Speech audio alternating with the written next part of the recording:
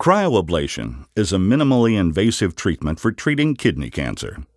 In the retroperitoneal approach, the patient lies on his or her side and small incisions are made toward the back of the body. A balloon dilator is initially inserted to move the kidney away from the back.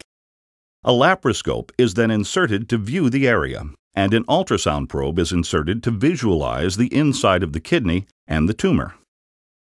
One or more cryoprobes are inserted directly into the tumor, and argon gas is circulated within the probe.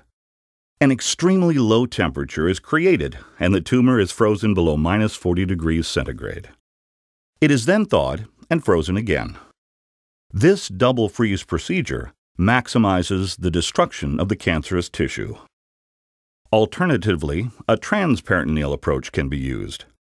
For this procedure, the instruments are inserted from the front of the body.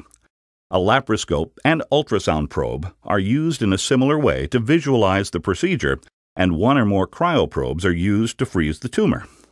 Clinical data indicate that laparoscopic cryoablation is an acceptable alternative to surgical removal of renal masses, but only a physician can determine if the treatment is appropriate for a specific patient.